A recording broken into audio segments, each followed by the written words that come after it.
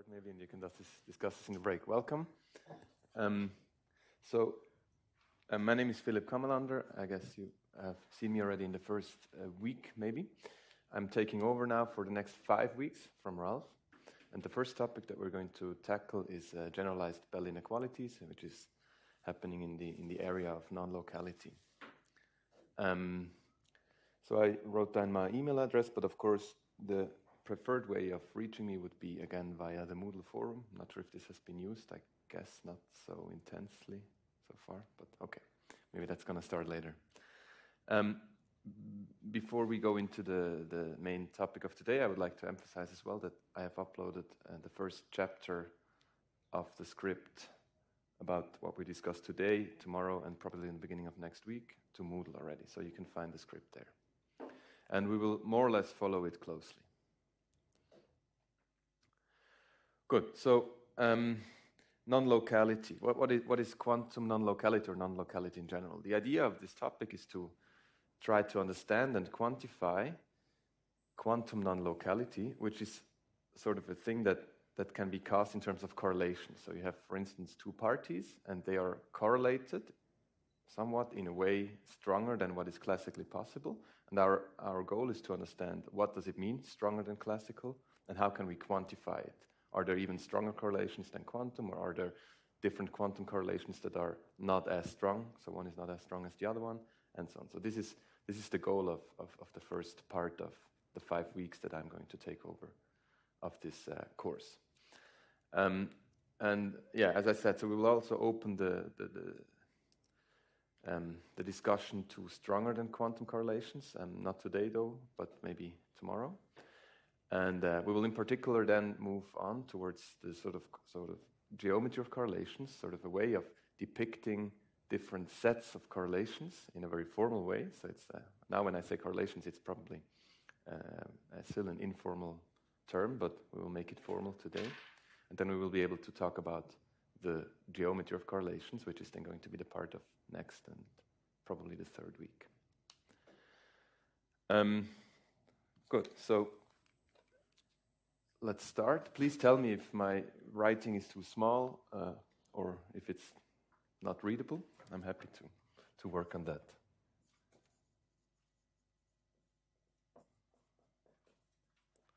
So the title is Generalized Bell Inequalities.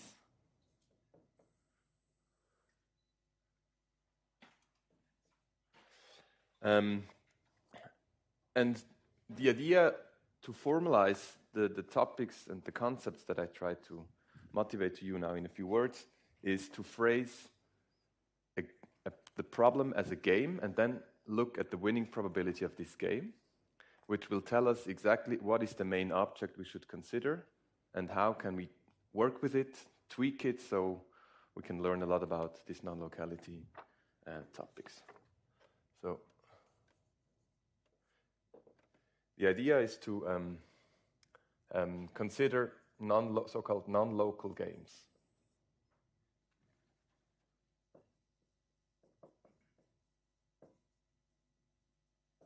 Okay, and, and the first game, which is also the main game that we will consider as our main example, is the so-called CHSH game.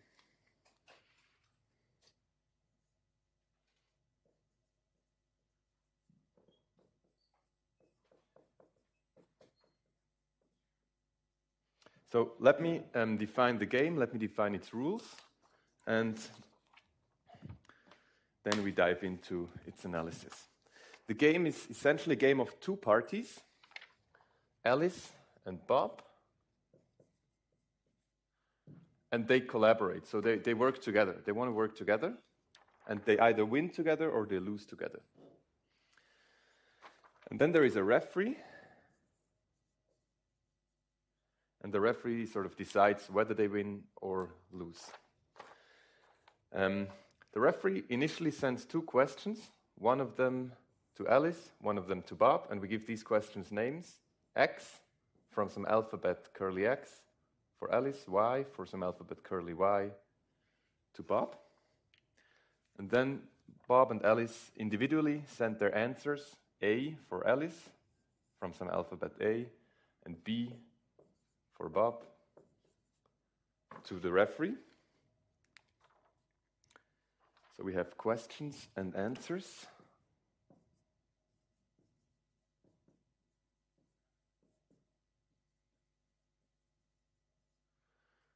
A and B are answers. And importantly, so there, there are some rules, right? We need to say when they win, when they lose, and so on. Um, well, let me go to the next panel then here. So the alphabets are essentially arbitrary in general, but in our case, for the CHSH game, we choose them to be sort of the, the most trivial case. So we have the, them all the same, and they are all the set 0 or 1. So questions are 0 1, answers are 0 and 1. Now to the rules of the game. Um, so, first of all, before I say when they win or lose, let me state some more, more basic rules that, that are very important for this game to make sense in the, in the context of non locality. So, first of all, I said Alice and Bob, they co cooperate. And um, they may agree on a strategy beforehand. So, they, they may have met beforehand, before the game starts, and, and agree on how they react given some questions X and for Alice and Y for Bob. So, they may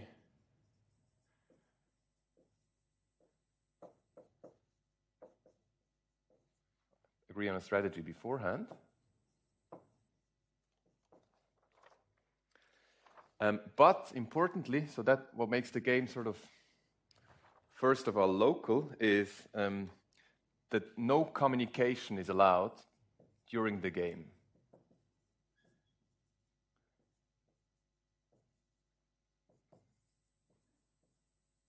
So, of course, between the referee and Bob and the referee and Alice, yes, because they send questions and answers back and forth, but not between Alice and Bob.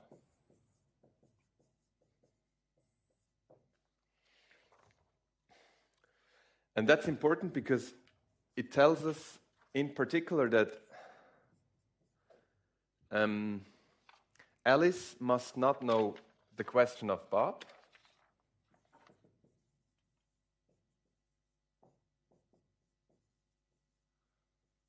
And likewise, Bob must not know the question of Alice. Okay, so the questions are really only distributed to to one of the players. So I'm trying to make this clear by drawing sort of a, a wall here.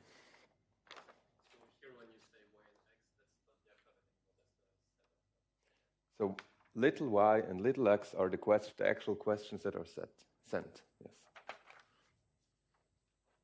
In one instance, and then of course there can be different questions in different rounds.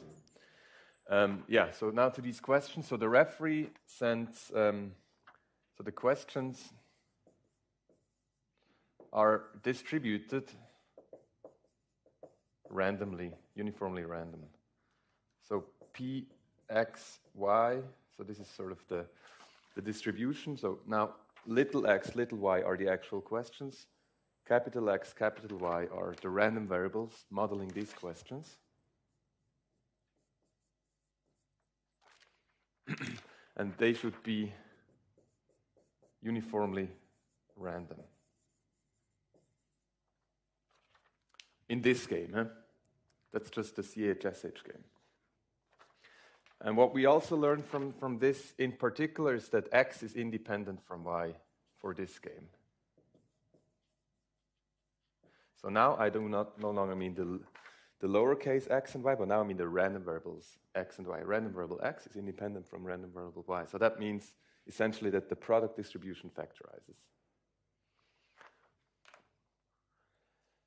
Um, let me know if you feel very uncomfortable with, with one of the concepts I'm using. Well, maybe not up, up to now, but maybe later on I'm using other concepts. So let me know if you think I should explain some of the concepts like random variable or like independence or or other things. Good, so now to the winning condition.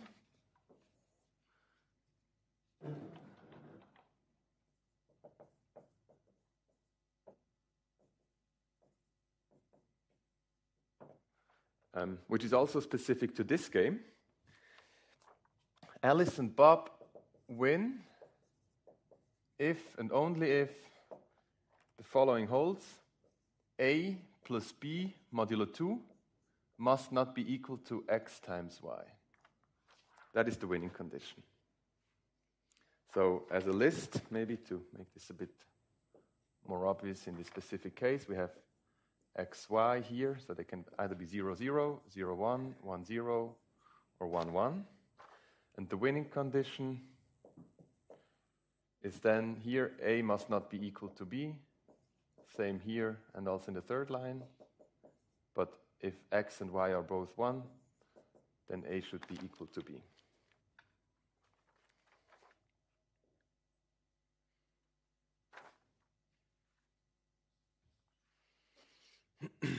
All right. Um, so this is the setting. Any questions about the, the setting of the CHSH game so far? It's a two-party, two-player game with two possible, with two inputs and two outputs, one of them to each, and each input and output has two options, zero or one. They may cooperate, they may not communicate. Uh, during the game, the questions are distributed uniformly, and the winning condition is this specific condition that, that we consider here. I'd like to make a few, yes?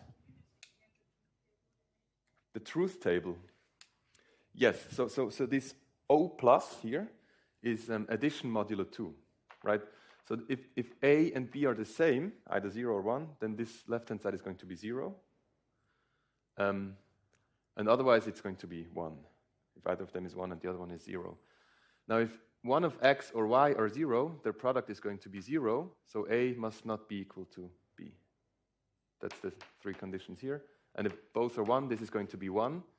So in order to fulfill this inequality here, A must be equal to B.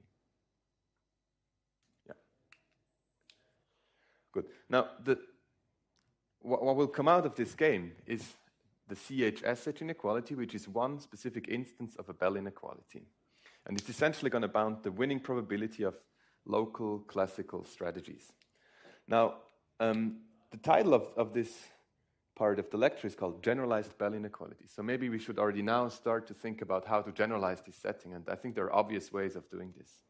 So when we, when we sort of want to understand why, why, why the topic of the, of the lecture is generalized Bell inequalities, you could first of all think of, say, more parties so generaliza- possible generalizations.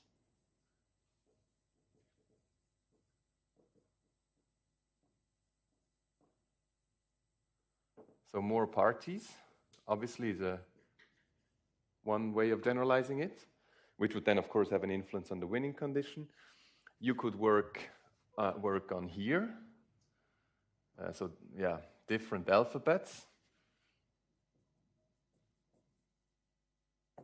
And then some rules should stay the same and some rules should not stay the same. So, for instance, the, the cooperation should stay. So, they're somehow given by this, by this whole non locality area. So, they should stay the same. Or at least more or less the same. In particular, there should not be any communication between Alice and Bob during the game. But you could also work on here, and you could have different, different distributions. This, yeah, this doesn't make sense. Hmm.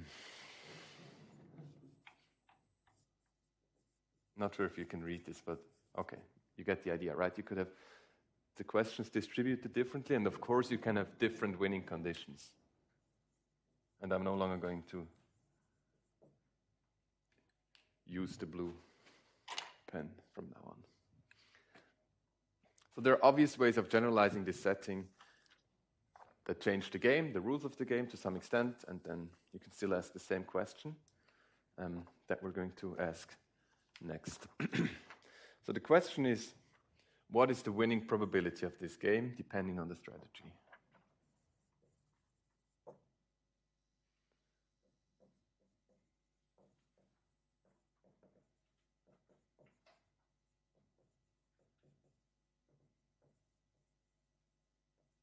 Depending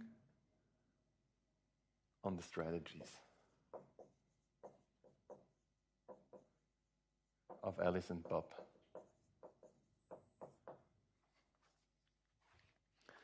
In order to treat this um, in, this, in a more or less nice notation, I'd like to introduce a new object that casts all the information in the winning probability in a nice way, sort of a Q factor.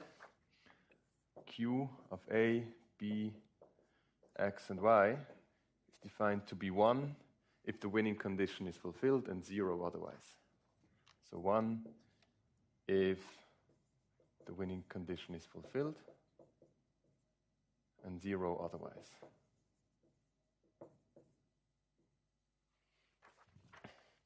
And I'm doing this because now I can define the winning probability. Well, not define, but I, this is just by definition of, of Q, this is the expectation value of Q. And the expectation value of Q, um, well, you know, this is sum over all possible um, values of the random variables. And then we have the distribution.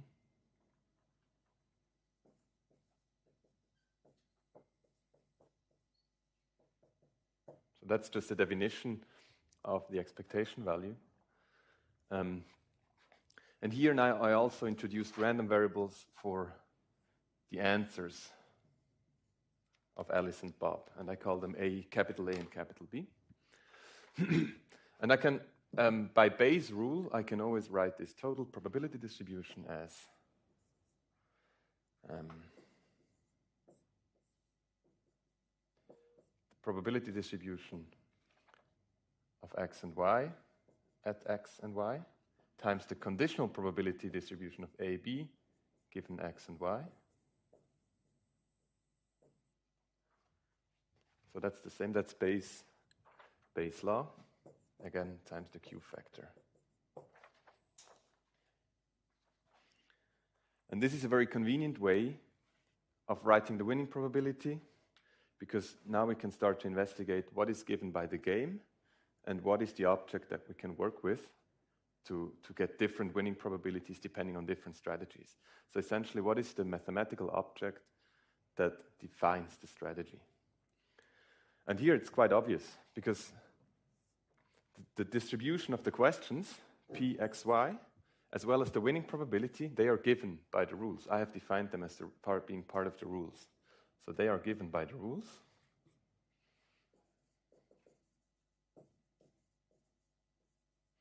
So the only thing that we can actually work with here is this conditional probability distribution, PAB given XY. So this is the object of interest. This is the object, the mathematical object, if you want, that contains all the relevant information about the strategy.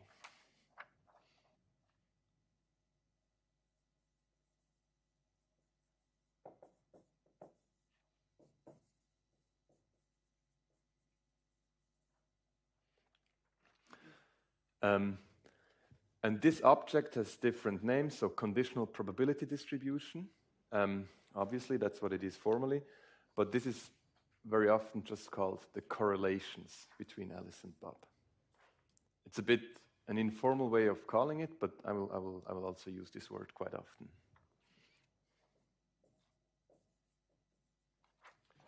So this is also um, known as the correlations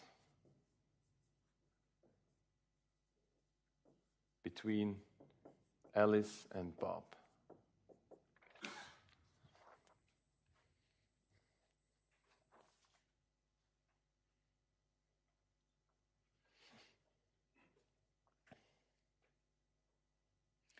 Um, is, is it clear, like formally, what a conditional probability distribution is? That's clear to everyone. Okay. So um, then I'm not going to write it down, but I'm just going to say it. So these are, um, this is a function of four inputs, a, b, x, and y. The function is non-negative, so it can never be negative. And if you sum over x and y, you get one independent of a and, no, sorry, if you sum over a and b, sorry, if you sum over a and b, it must be normalized to 1 independent of x and y. So for each given x and y, summing up the probabilities must give unity. Okay. Good. So now we are a step further in formalizing our understanding of correlations. Now I can use the term correlations because I have defined by correlations, I essentially speak about the conditional probability distribution. Um, so now we can investigate the questions, uh, the question that I that I've raised on top. What is the winning probability um, given on a different strategy? Well, I have given the strategy. I have I have defined the winning probability. So the next question would then be, what values can the winning probability take?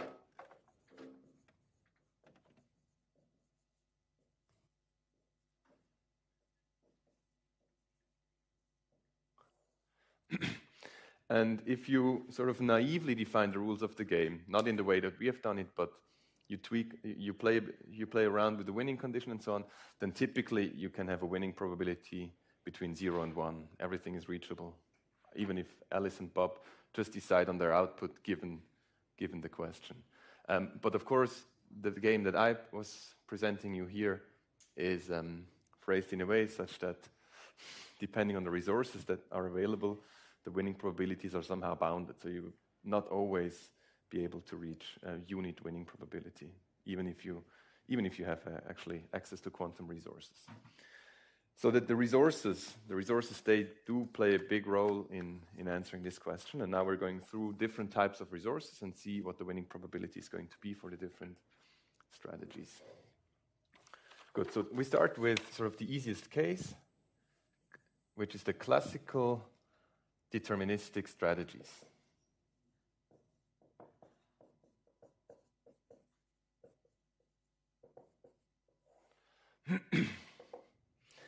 what does that mean? Classical, um, well, classical deterministic strategies, I could also call them local deterministic strategies.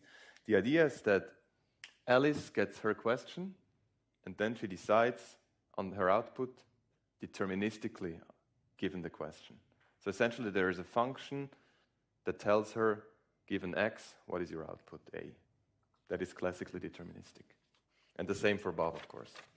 So Alice and Bob have a deterministic way of determining x, uh, a and b given x and y.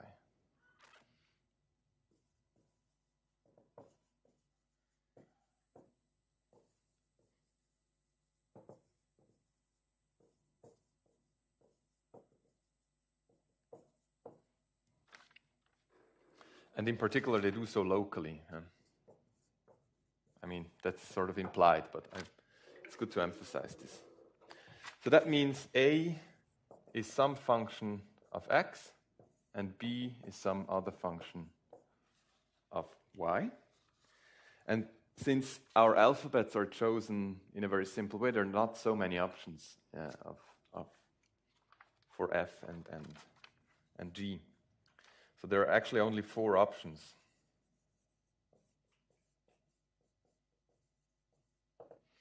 Um, let me number them. So we have F1, that's the identity, for instance, that's one way. So A equals X. Or F2, which is sort of the opposite. A is not X, so that means you have X plus 1 modulo 2. And then we have the other candidates, which are erasing the bit to 0 or to 1.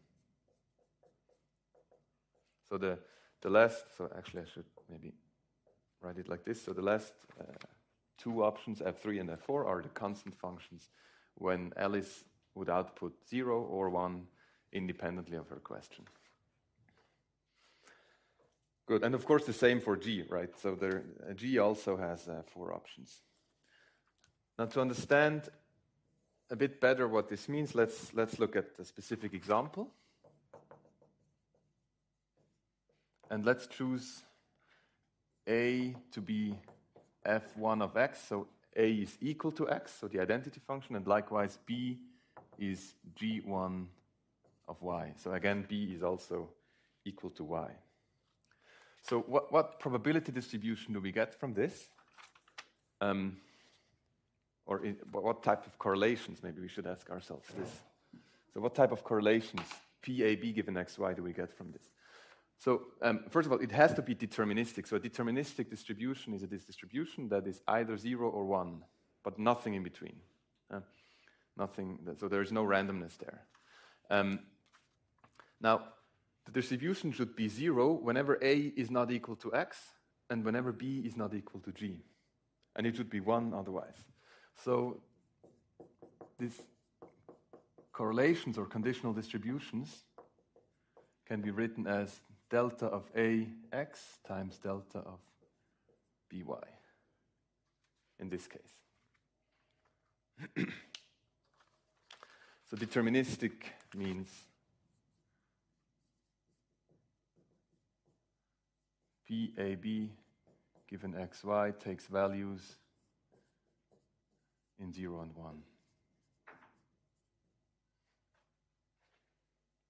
But not anything else. Now, for this specific example, um, let's calculate the winning probability. In principle, all is there, right? We have the distribution of the questions, we have the, the, the Q factor of the winning condition, and now we also have an expression for this distribution. So there, there would be an easy way of calculating this sum of 16 terms, most of which are going to be zero. Um, but we can also have a look at it differently in terms of this table. And I'd like to do this because that's going to be actually quite helpful when we go to the more general case. So I can list x and y, so the possible questions, and then see in which cases we win and in which cases we do not win. And here it's, it's not a probabilistic thing because we speak about deterministic strategies, right? So either we win or we don't win. In the general case, when you have probabilistic strategies, you can say here, in this case, I would win with, I don't know, 80%. In another case, I would win with 7%, whatever. So um, we have this list again. Now, with the specific strategy of this example, if x and y are both 0, then a and b are also going to be both 0. So a plus b is going to be 0. If x and y are 0 and 1, then a and b, which is the same as x and y, are going to be 1. Likewise 1 and 0, and likewise um, uh, well, not likewise. So if x and y are both 1, this means that a is 1 and b is 1, so their sum modulo 2 is again going to be 0.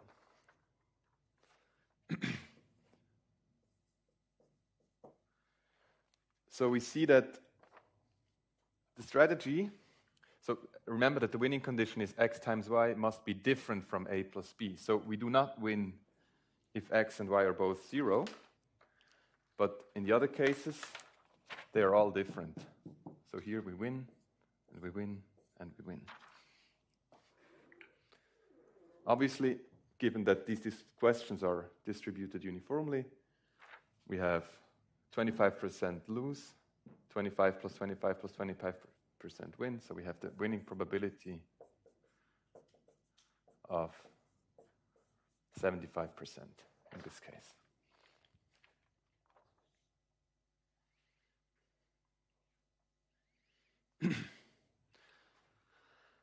okay, so is this good? Is this bad? Um, it's certainly not too bad. You could definitely do worse in an obvious way. So, for instance, one way of seeing that you can definitely do worse is choosing, say, the g function to be not. So, instead of y equals b, you would have b equals y plus 1. So, exactly the opposite. What would happen is that these numbers would flip here, so we'd have 1, 0, 0, 1. And then you would only win in the first case and lose in all the others. So you'd have a winning probability of 25%. So you can definitely do worse. Um, can you also do better? No. And now we will see, we'll see why. So that's the next step to understand why this is actually optimal for classical deterministic strategies.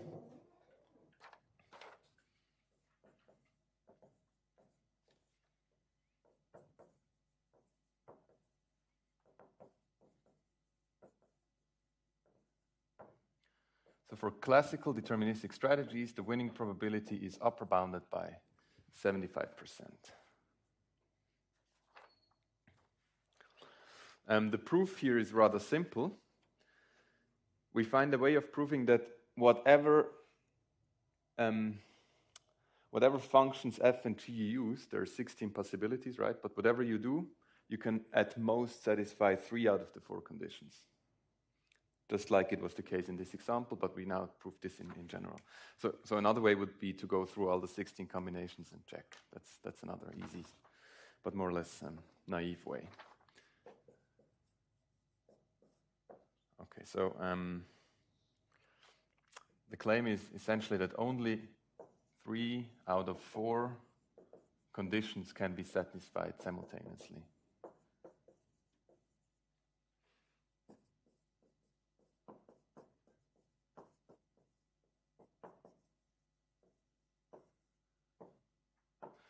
Um, as we will show now. So um, I have a very specific way of going through the different types of questions and then showing that um, if three of the questions lead to a win, then the fourth has to lead to a lose. So we start with the question x, y being 1, 0.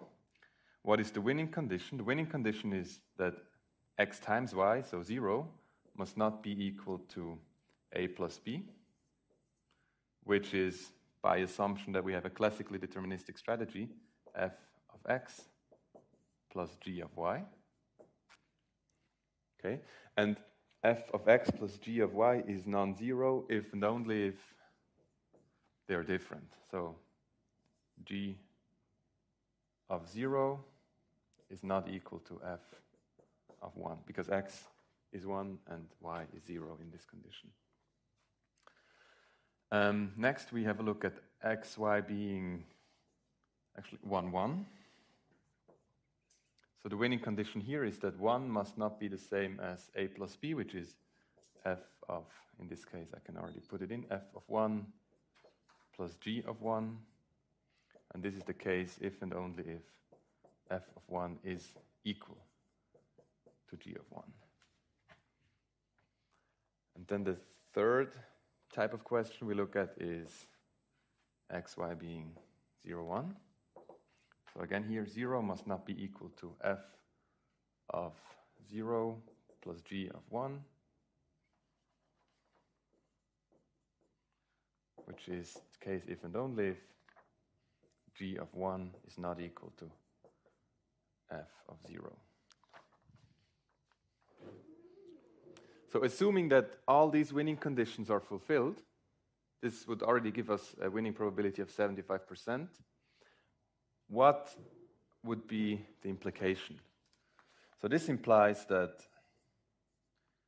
I'm just going through these um, inequalities and equalities. So g of 0 is not equal to f of 1, but this is equal to g of 1, which is then again not equal to f of 0. So in total, we see that g of 0 would have to be equal to f of 0 in this case. Because there, there, are only two options, right? 0 or 1. But then, for the question x, y being 0, 0, the condition would be 0 not being equal to f of 0 plus g of 0, which is in contradiction with them being equal.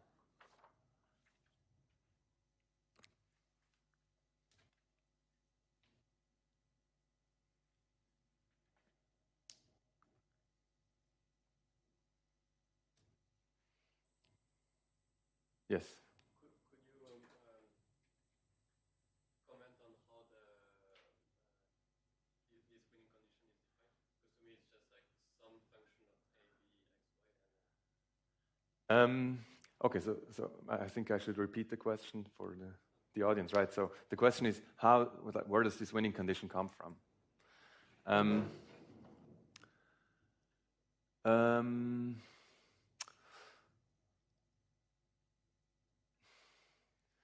Yes, so I think I will answer this question in the second half of today's lecture when we connect what, what I will call the, the, the version of the CHSH inequality in this game formulation with the usual CHSH inequality, then you will see that this winning condition is exactly giving us the usual CHSH inequality in the formulation in which, for instance, um, yeah, Clauser-Horne, uh, Shimony, and Holt have phrased it. So that's the connection. And then I'm, I'm sort of transferring this question to why did they come up with the random variables the way they did? Um, well, they were just clever and found something that separates classical from quantum correlations. But, but I agree that at the moment um, the winning condition looks somewhat arbitrary. Okay. Other questions?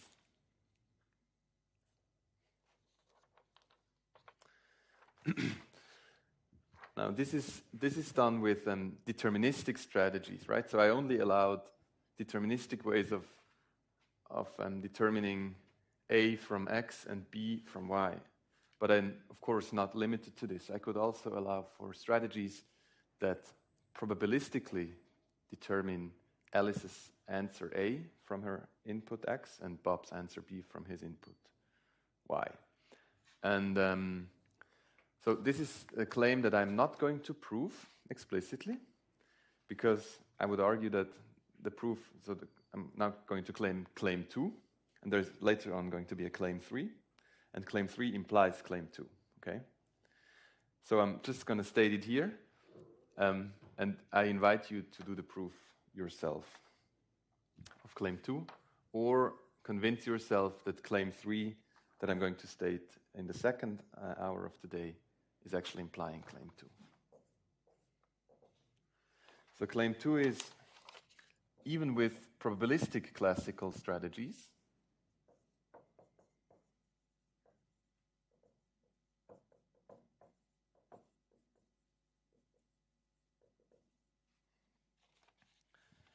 So that is strategies of the following form. We have Alice's output A, given her question X, is not deterministically depending on X, but it may probabilistically depend on X. So this can be written as with some probability pi, she goes for a deterministic strategy delta A and f of x. And then we can sum over all possible um, deterministic strategies with some probabilities pi. And likewise, pb given y would be the same with some different probabilities qi.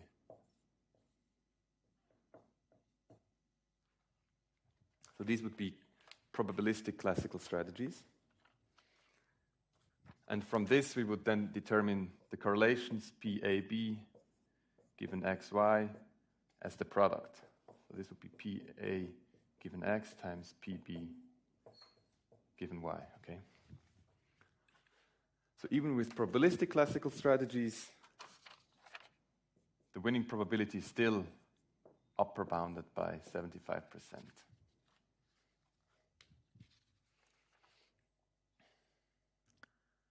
Um, and as I said, so the proof either for, for you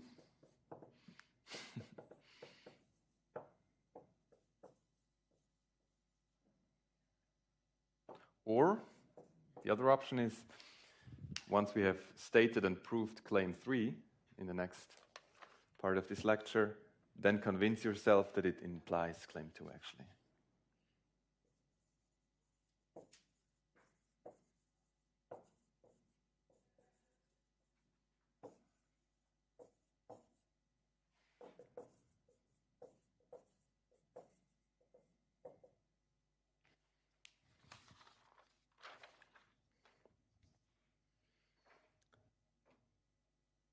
Good. Questions so far? I'm also happy to maybe, if you have an idea of how to prove it, I'm happy to discuss this with you in, in the break quickly. Okay, now I need to clean. So I'm not going to clean. Hmm. No, um, no, actually, I am going to clean that part as well. Just going to draw it again slightly differently. So the next part, the next step, is a sort of an intermediate step between between what we have done so far with um, classical and deterministic, or even classical and probabilistic strategies and quantum strategies, because there is another classical resource that we might allow Alice and Bob to use. Um, and at first sight, it's not clear whether this new classical resource would give them more power, in particular, would allow them to have a higher winning probability than 75%. Um, and then what we will show is that even this new classical resource will not allow them to go beyond this bound. And the new classical resource that we are going to allow is called shared randomness.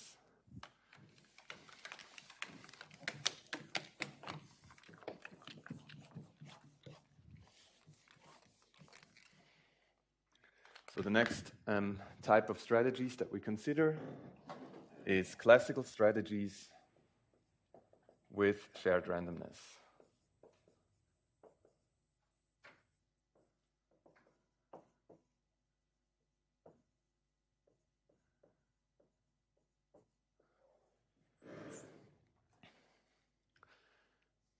So what is shared randomness?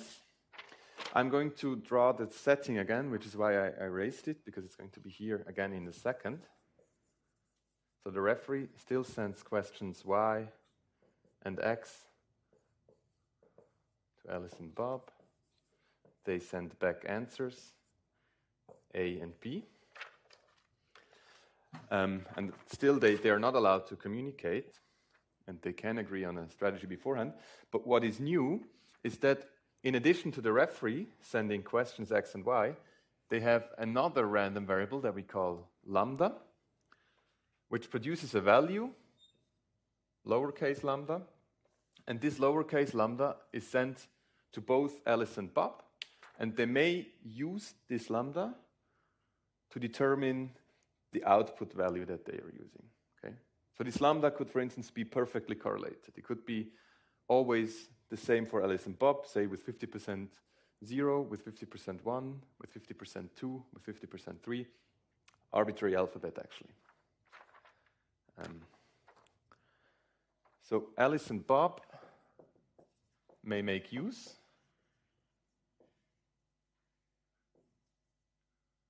of an additional random variable or input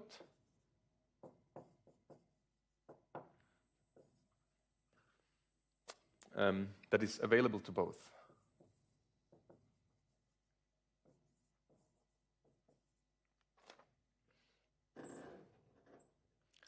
And of course, now they can make their outputs A and B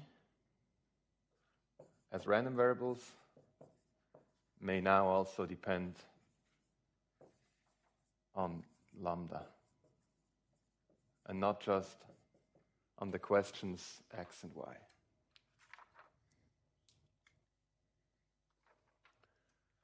Um, so this lambda, the random variable lambda, is distributed,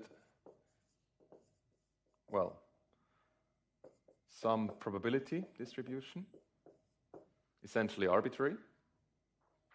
Um, actually, I would say this, this might be part of the strategy. So they might agree on some give and some probability distribution they think is optimal for them to winning this game. And typically, lambda is chosen to be discrete. Yes, but even if you even if you allow it to be a continuous alphabet, it's also fine. Um, for what we do here in this course with non-locality, all the alphabets are always going to be discrete because then we do not have to care about sneaky stuff with integrals and measures and so on. And we don't want to make it more complicated than it is. We want to focus on the concepts and not on the technicalities. All right, let's take a break. I was told the break is going to be five minutes only. Okay, good. okay, so we stopped at the definition of what shared randomness is. So, shared randomness is essentially another value that is distributed to both Alice and Bob according to some distribution that may be favorable for them to win the game. And the question is now can they make use of this shared randomness to, to, to do better than the 75% winning probability? In order to understand this a bit better, we need to first see how this affects the correlations. So the correlations are now of the following form. Um,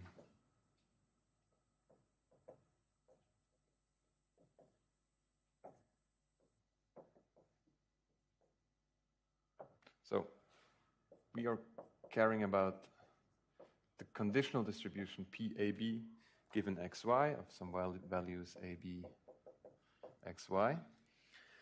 Um, and well, we now have this additional um, random variable, okay, and it takes some values, but essentially this is not relevant here, so we sort of trace it out if you want.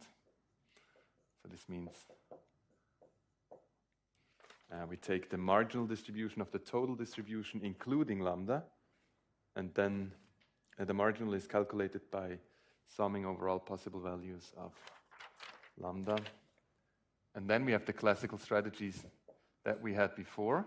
But now these may also depend on lambda. And like before, we also have Bob's strategy may now also depend on lambda.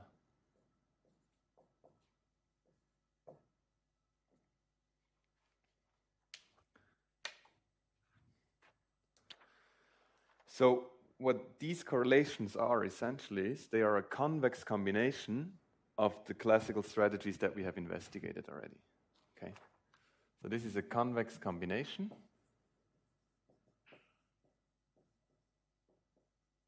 Of classically, now um, to be to be precise, I could even say classically deterministic strategies, because that is the thing that we have actually considered and proved not using claim 2 at the moment, because later on I was trying to argue that you can deduce claim 2 from claim 3, so I better not use claim 2 in claim 3.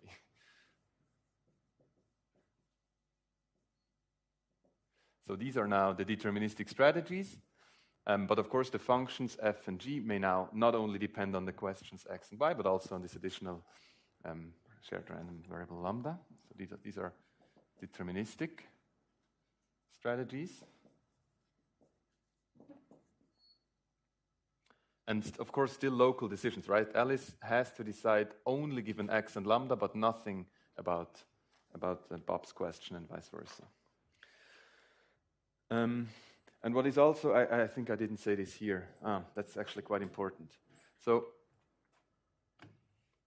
it is not stated explicitly, but, but it is assumed that this random variable lambda is independent from the questions, right? Because this should, this should respect the rules of the game.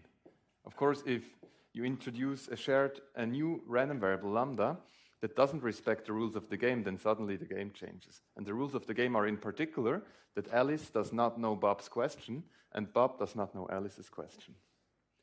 And it so from what I have said so far, I have not ruled out that lambda might be correlated with the questions x and y in such a way that if you know lambda, you automatically know both questions. And if you know both questions, the game is not fun anymore. So lambda, in order for it to respect the rules of the game, um, lambda must, must be independent from, from uh, x and y.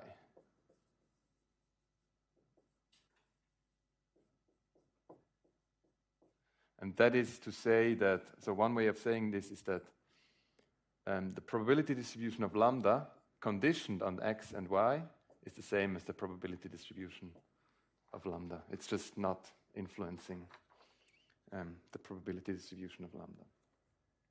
Right? And the rule that, that would be violated if this was not the case would be the rule that Alice only knows her question and Bob only knows his question.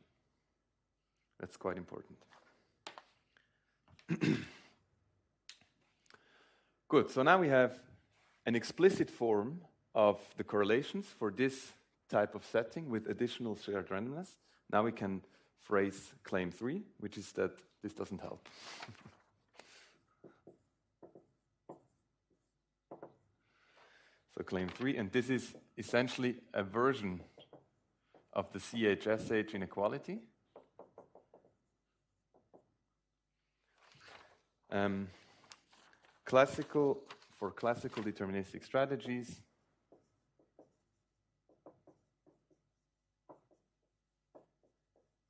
with shared randomness.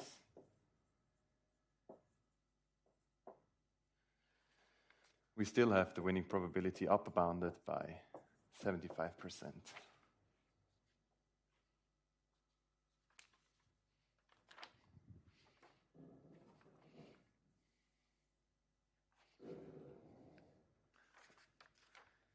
Let's prove this, and the proof is very easy. And this is due to this very easy form of this um, conditional distribution, right? We know very well what happens if we have deterministic strategies. And what we do here is we have a convex combination of deterministic strategies that are local. So we use this fact together with the fact that the winning probability depends linearly on this conditional probability distribution. So we just calculate the winning probability of this strategy. It can be written as the sum over lambda, sum over a and b, and the sum over x and y. Now, p lambda times pxy times pa given x and lambda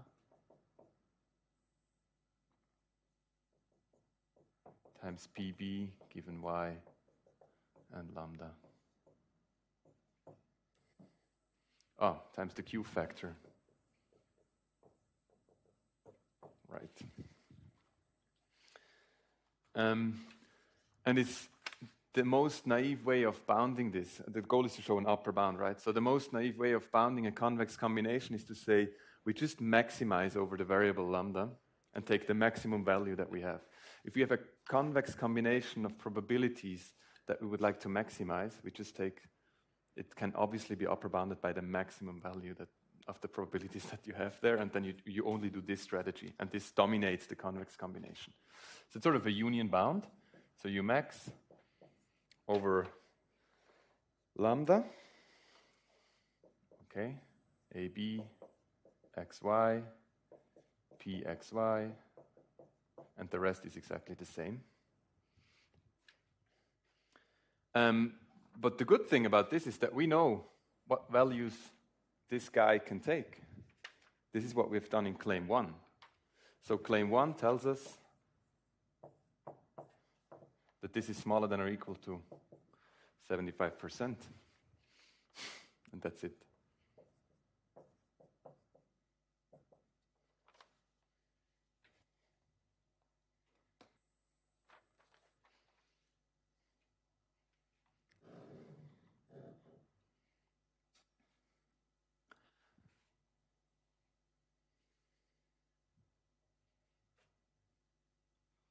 Now, yes, question, yes.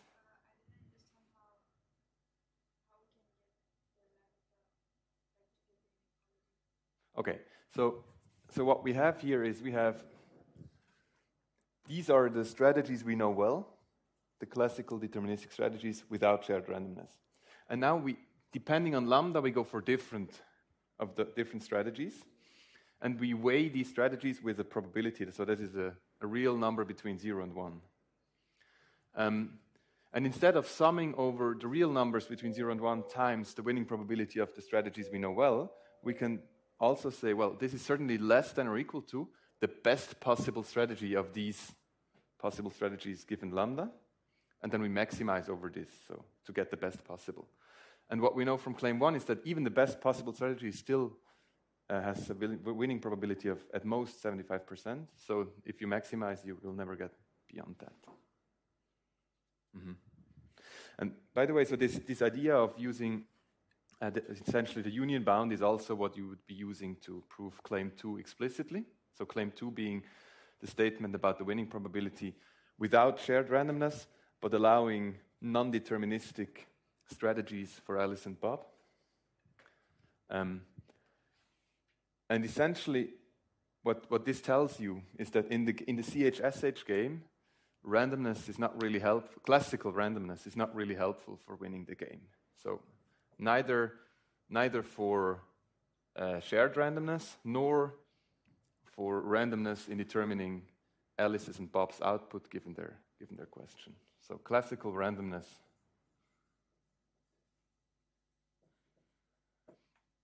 is not helpful.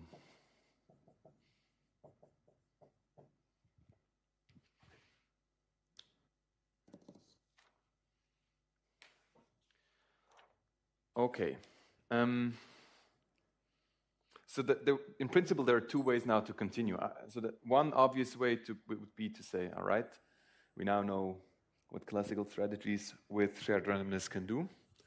And then let's have a look at the quantum strategies. And we will do so later, and in particular, you will do so on, in the exercises of this week. Um, but the other way would be to sort of broaden the scope now, because so what I've done so far in the first hour is I've only talked about a specific game. And uh, I've used the terms local and classical and strategy and probabilities and so on, but I sort of haven't really connected this idea to um, other terms that are floating around, like local realism and so on. So I'd, I'd rather do this now, and then later on we go to the quantum strategies. Because um, distributions of the type that we have here, so distributions or also correlations, as we call them now, of the form PAB given xy can be written as a convex combination of local distributions. So that means a convex combination of distributions of the form A given x and lambda times distribution over B given y and lambda.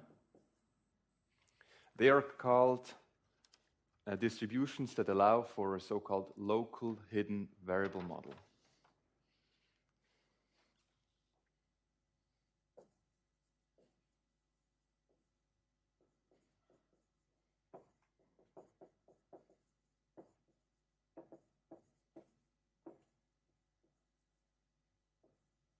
That's a very that's a central term for, for our investigations this and next week.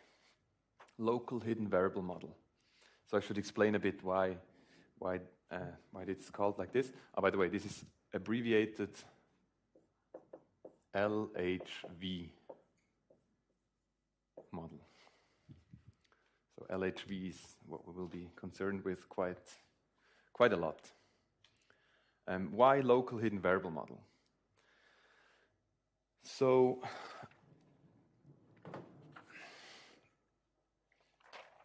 um, lambda, what I called shared randomness before, would be this hidden variable.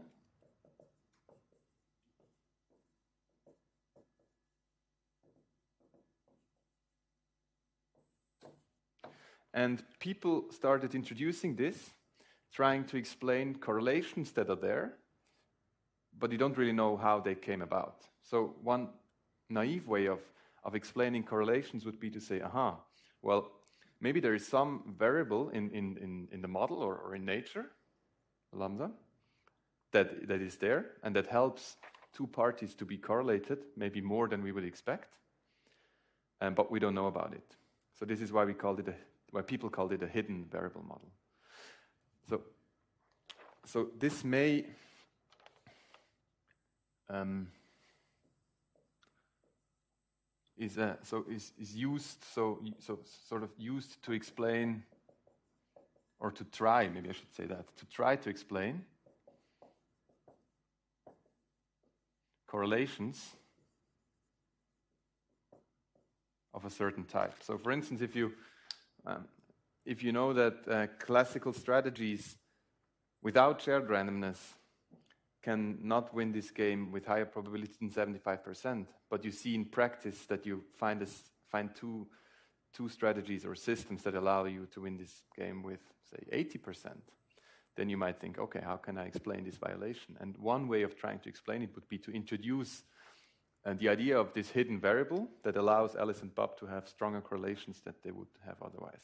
What we know now, according to claim three, is that this does not explain a violation of the 75% bound, because even if you allow for such a variable, the 75% bound still holds.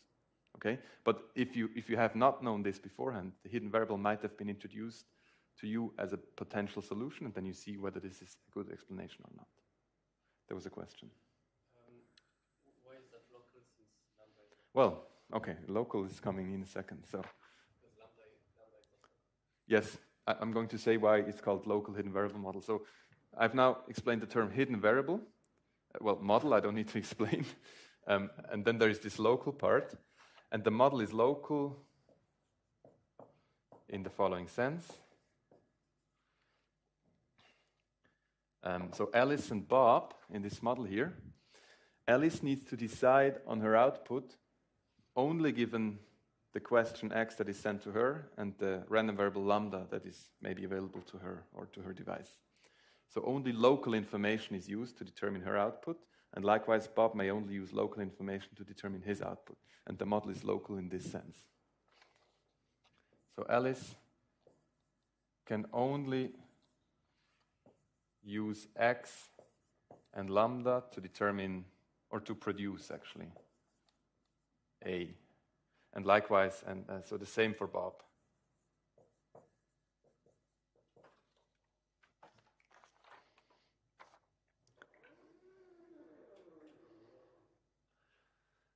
and it is also local And so now maybe local also in the sense that that's a, a quite an important ingredient to call to, to be able to call it local right? If lambda was able to give information to alice about bob's question and vice versa then you could not, no longer really call it local. So at least intuitively this would violate your um, your i hope this would violate your intuition of what is called local.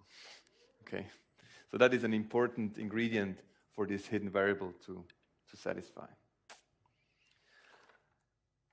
Good. And then I also dropped the term local realism. And I should make clear how this is connected to these LHV models. So, what is called local hidden variable model is sometimes also called uh, local realism. But I prefer the term local hidden variable model because, at least in this setting, it is extremely clear what is meant. I have 100% uniquely defined what a local hidden variable model is. And when you start talking to philosophers about local realism, they will not talk about this thing here, most likely. They will talk about some other ideas, and I'm not saying that doesn't make sense, but not as formal, okay? So this is sometimes called local, locally realistic model, um, but depending on who you talk to, locally, local realism has different tastes, whereas I would say that this is well defined.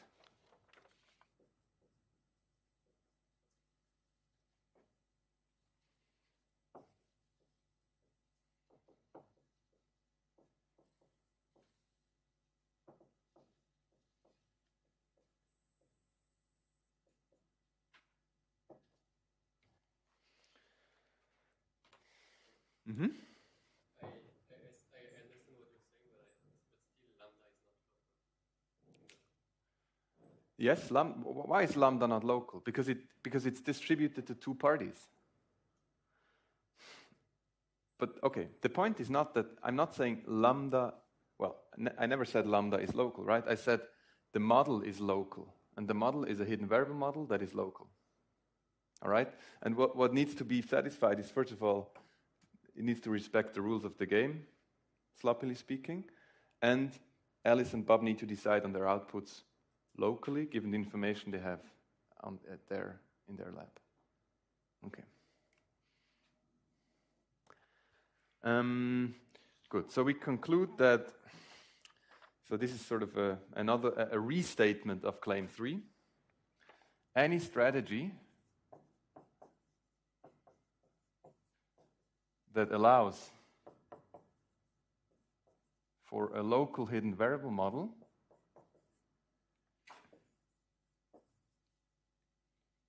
to explain the correlations PAB given XY must satisfy claim 3.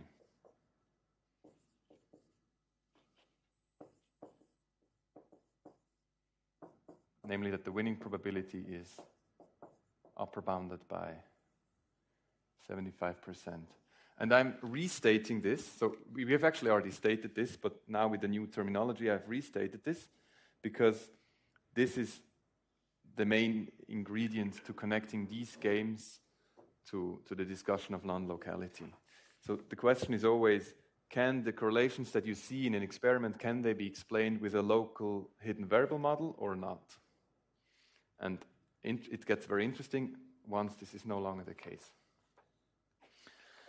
Um, okay, and now, I, so I've already broadened the scope of the discussion a bit in the first hour when we started to discuss uh, obvious ways of generalizing this, uh, these rules, the rules of the game.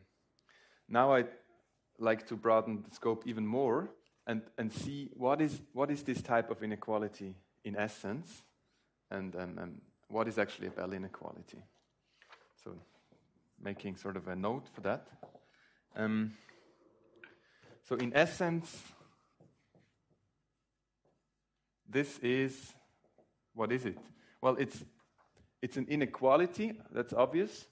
And in fact, it's an inequality that is linear in the correlations. Because PAB given XY only shows up linearly in this, in this inequality. Okay? So, is a linear inequality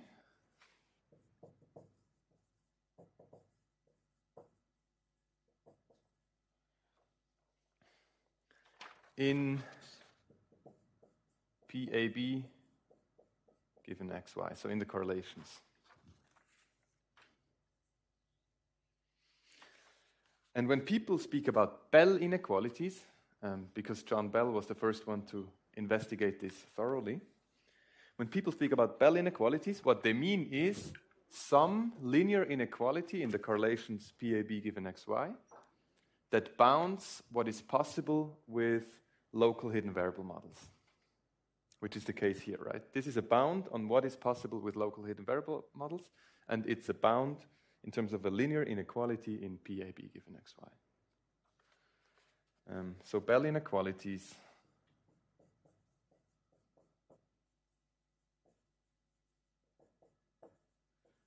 are linear inequalities in PAB given xy, in principle allowing for more than local hidden variable models, but such that the inequality bounds what is possible with local hidden variable models. So it's giving either an upper or lower bound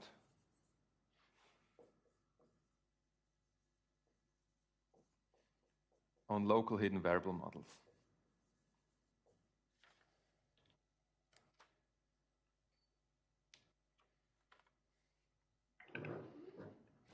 So, in this sense, Bell inequalities separate local hidden variable models from other types of correlations.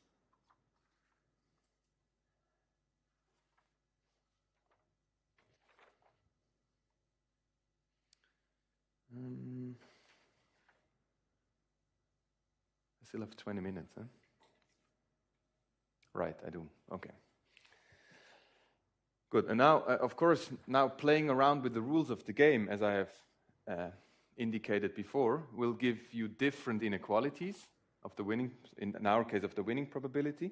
But you're not, you're actually not limited to only consider winning probabilities. You could consider arbitrary linear inequalities in, in the correlations. But at least in the setting of the game, you, you care about the winning probability. So different games, different rules of the games, different settings give you different um, different inequalities, in that sense, different Bell inequalities.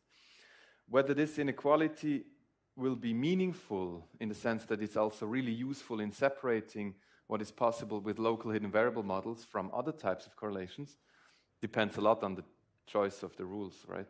You could easily define a game that is um, uh, that, that, has winning probability of one all the time. For instance, the game is very easy. Alice and Bob get two questions, and the goal is that they always output the same. That's the winning condition. So, independent of the questions, they will always output zero. You, you get an inequality, it's somewhat a Bell inequality, but you already go to the very maximum, so you don't, you don't really, it's not, it's not a, tri- it's a, it's a trivial Bell inequality in this sense.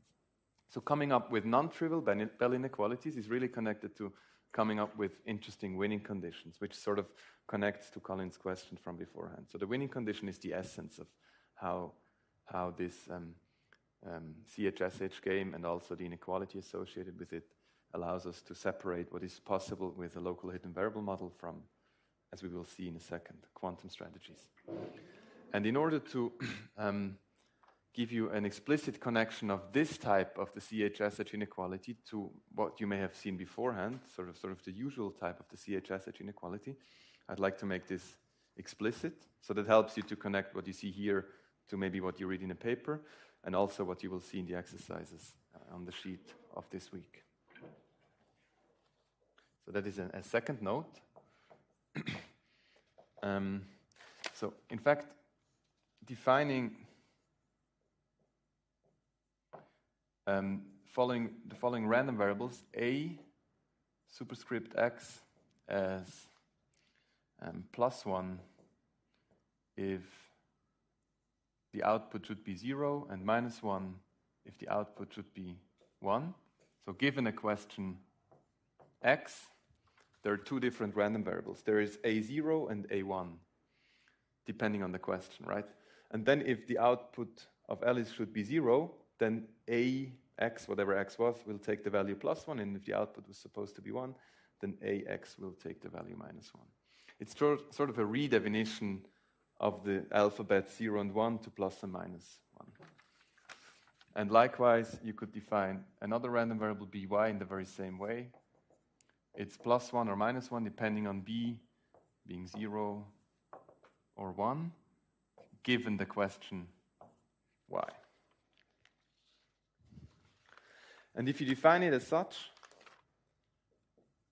then the winning probability it can be rewritten in terms of these uh, random variables and specifically in terms of expectation values of these random variables.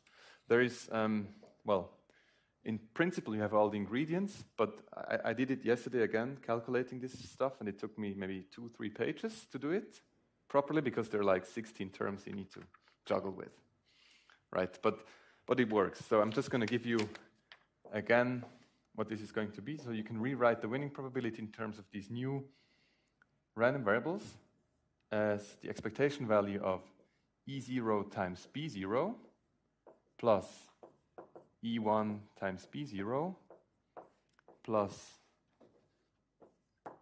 A, sorry, A0 B1 minus A1 B1.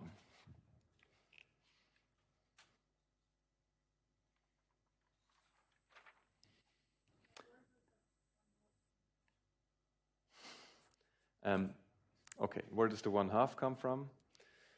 When you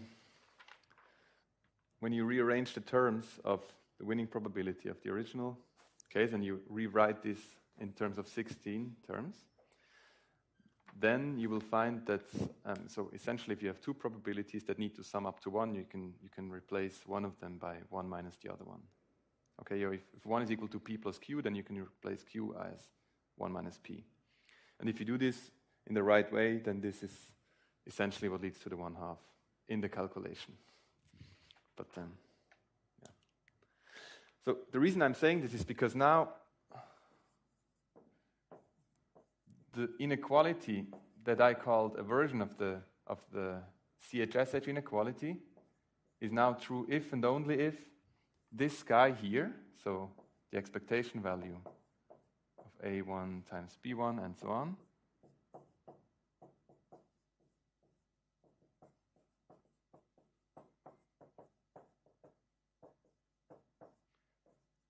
This is the case if and only if this is upper bounded by 2. And this is sometimes called the usual CHSH inequality. So who has, who has seen this type of inequality beforehand? right? So you have seen this. Who has seen this winning probability type of CHSH? Also, okay. But so I'm now I made this connection explicit. It's the same inequality phrased in different terms. And the connection goes via the definition of these random variables ax and by. Okay? So this is what is typically called, or say traditional, traditional CHSH inequality, which is also why I called claim three only a version. And the CHSH inequality is some sometimes also called the Bell inequality. So when, when, when, when a layman says the Bell inequality, they almost certainly mean the CHSH inequality. Okay, um, that's actually good to know for the exercise sheets because in the exercise sheets you will play with, with this inequality here.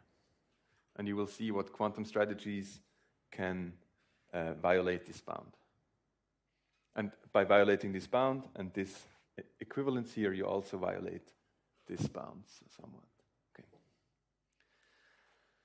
Good. How is this done?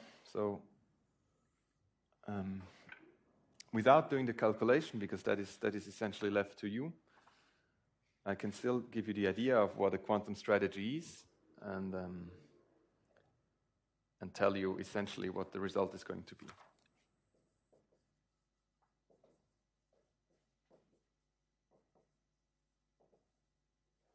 Okay.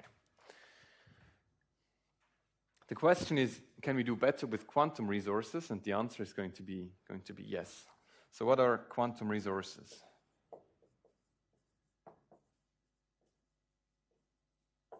So with quantum resources, Alice and Bob can do the following.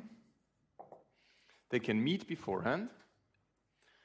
They can prepare two systems Alice system and Bob system in a specific quantum state. Then they go apart and play the game, and they can make use of quantum measurements on their systems that determine their outcomes that they will send back to the referee. So essentially, what, what this means is that they share a quantum state rho AB, which is a density operator of some bipartite Hilbert space HA tensor HB. And they can choose local measurements.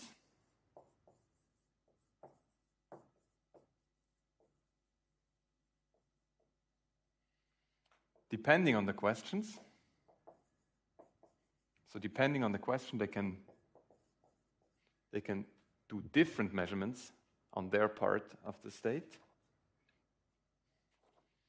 to determine the outputs or the answers in that sense.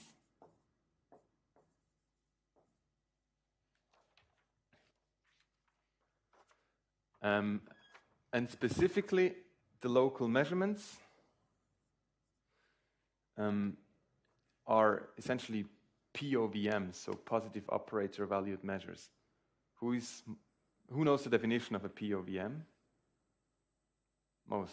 Okay. I'm gonna I'm gonna I'm gonna write it down again. It's sort of a, the most general type of quantum measurement. It includes, in particular, projective measurements, but it allows for, say, some post processing of the outcomes as well, uh, and includes them all in one object, which is very nice. Um, so this means they can choose POVMs. So these are Hermitian operators in our case with two indices.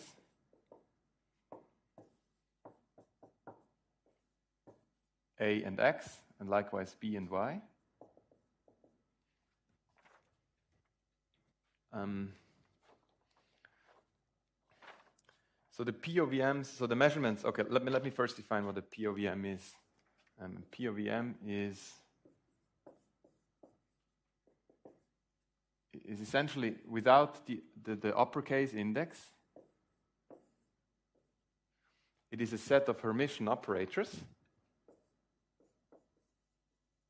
Now, in our case here, of some, some Hilbert space H, such that all these operators are positive. So For all A, this is a positive operator, and they sum up to the identity. So if you sum up over all A's, then you get the identity. Okay?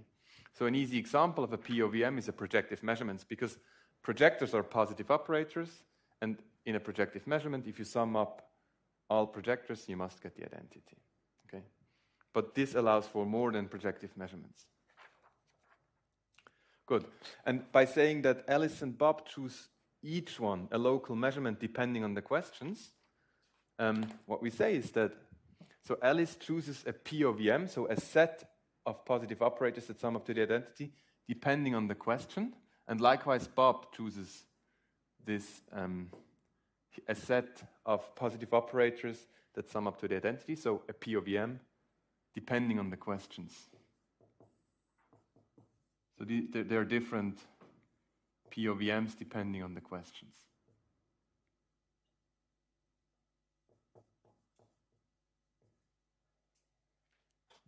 Okay.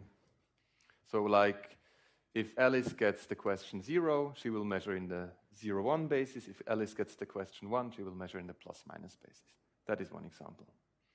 And likewise, Bob could choose different bases in which he measures. Um, perfect. All right. Um,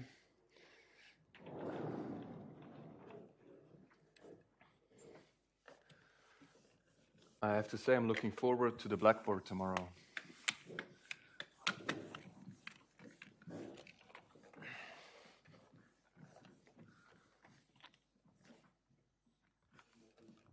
Much more convenient to clean for my taste also to, to write, but yeah.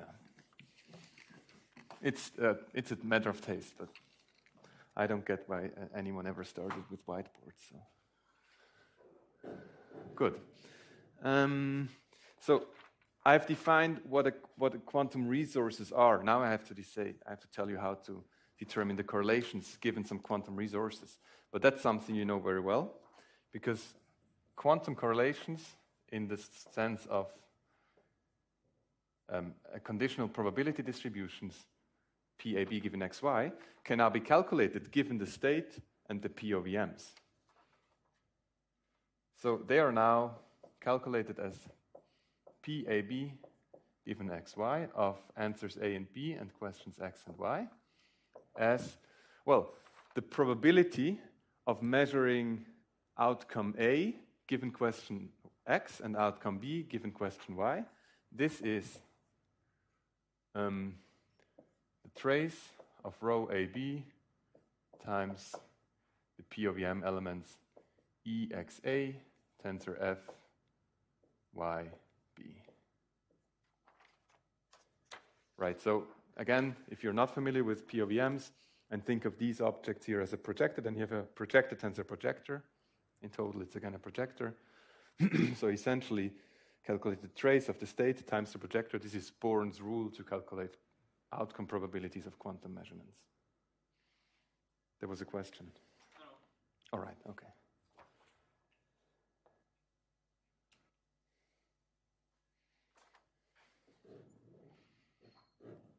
Good. And now, if, if I did the calculation with you or for you, what I would now do is I would give you a state, I would give you the two POVMs. We would together calculate the correlations, and then we would, we would together calculate the winning probability, and we would see that choosing making the right decisions, we get a winning probability above 75%. Now we're not doing this together, but you're doing this in the, in the sheet, essentially. Um, but still, I can highlight the, um, the main ingredients to this. So you will investigate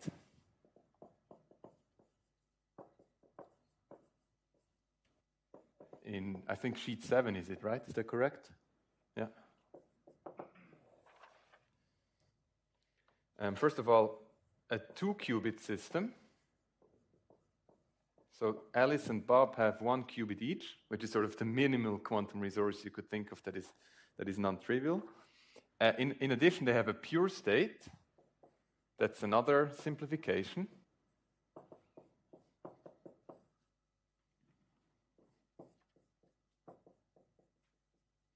And even better, even though I spoke about POVMs here, projective measurements are going to be enough.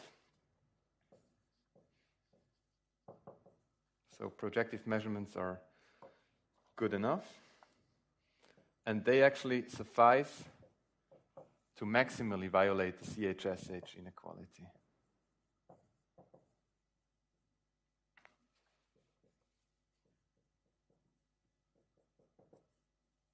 With quantum resources.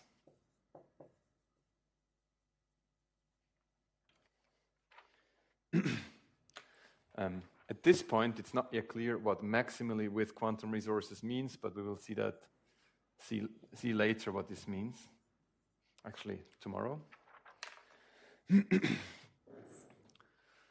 um, and the value that you will find for the winning probability is going to be 1 half times 1 plus 1 over square root of 2, which is more or less 86%, obviously more than 75. And this corresponds to a value of, um, of this expectation value in this, in this like traditional formulation of the CHSH inequality. So traditional formulation of a value of 2 times square root of 2. I think this is what you will, what you will be showing.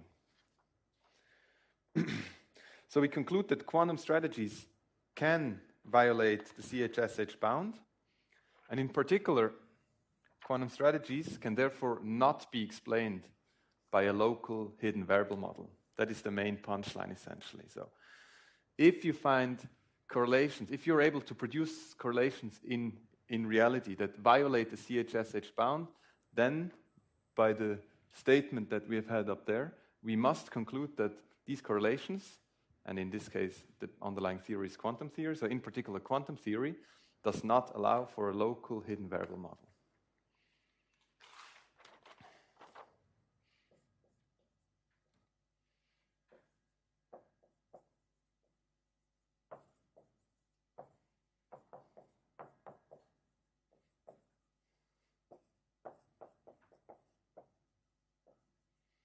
To explain the produced correlations.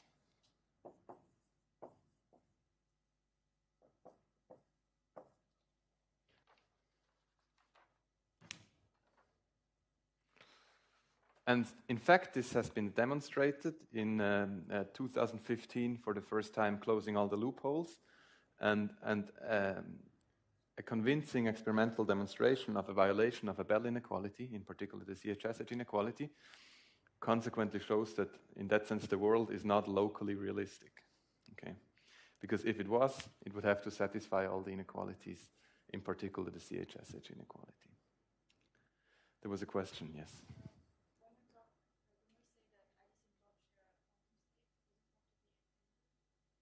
Mm-hmm.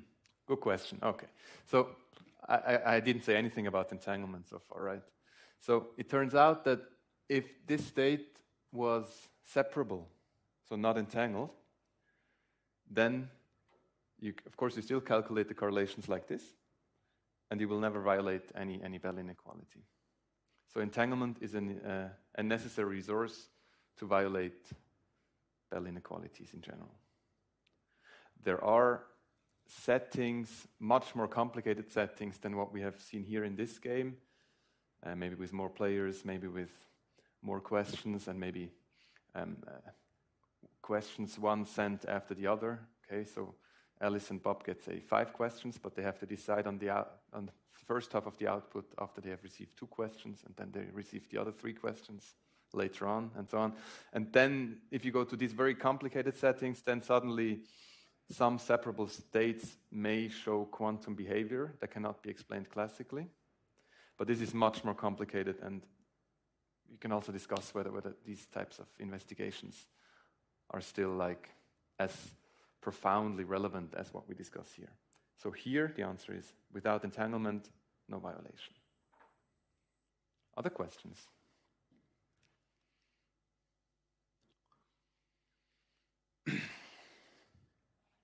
yes,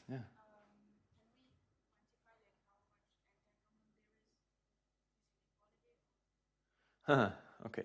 So the question is, can we quantify some amount of entanglement given this equality? So, so to some extent, yes. Because what I've told you in, in the previous question is that at least in a binary question answer way, the answer is if you do not violate this. Um, okay, so the answer would be if you violate this inequality, then some entanglement must have been present. Okay? Uh, if you don't violate this inequality, maybe you're just not clever enough. You may have had entanglement, but you didn't use it. That's another option, right? Now, um, in this specific inequality, it's actually a quite interesting link between entanglement and, uh, and the violation. Because it's, it's a very special one, also, the CHSH one. Because if you, if you reach the maximum violation, so here the 2 times square root of 2 in the case of the random variable formulation, or these uh, approximately 86% in the case of the winning probability formulation, then it is possible to deduce that the states that you have worked with must have been maximally entangled in terms of a two qubit um, state. Or if you had bigger systems, that the bigger systems must have had a subspace, which are a qubit in Alice and a qubit in Bob's bigger system, that are equivalent to a maximally entangled state. But that is an extremely strong result. And it only works for very specific Bell inequalities. So if you go to other types of Bell inequalities, maximum violation does not necessarily allow you to deduce the type of entanglement. But in this case, there is a very profound relation between the entanglement that you're actually having and the, the violation of the Bell inequality. Yes. Yes. Very good question, thanks. Um, Yes, so um, I think I'm already over time. So let me just quickly say what we do tomorrow. Tomorrow we will um, wrap up what we, what we have started today. Okay, so we will um, again have a look at, at this maximum violation. We'll see what it means to maximally violate the Bell inequality with quantum resources. We will also discuss whether you could think of yet super quantum resources that go even beyond this winning probability of 86%. And we will quickly discuss um, experimental implementations and, and, difficulties in experimental implementations of, of uh, say, tests of Bell inequalities of this type. Okay, see you tomorrow.